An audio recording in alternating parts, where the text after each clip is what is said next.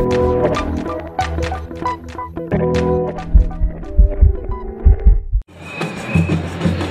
setembre de l'any passat, del 2018, vaig rebre un burofax en el que m'indicaven que en tres mesos havia de marxar de casa perquè no em renovaven el contracte de lloguer.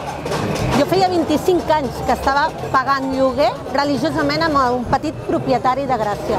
I després de 50 anys de viure a Gràcia, tinc una nena de 13 anys, sóc mare soltera, m'he tingut que anar a un altre districte perquè els lloguers a Gràcia no són assequibles per la gent que estem treballant.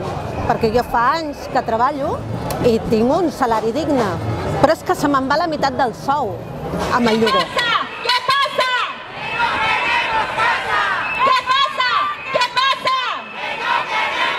Reclamem eh, poder controlar, eh, sobretot el, el preu del lloguer, fer front a l'especulació immobiliària i financera que afecta a les persones que no, no podem viure, deixar d'obrir les nostres cases i barris, i la idea una mica avui és ajuntar forces i, i poder fer que aquesta mobilització vagi pujant i pujant per aconseguir aquests objectius. Eh, eso va por ellos, ¿sabes? Que hagan algo, porque están desalojando a muchísimas familias, personas mayores, eh, jóvenes, niños, no les importa, familias enteras están en la calle y los sueldos no, no llegan ni a los mil euros.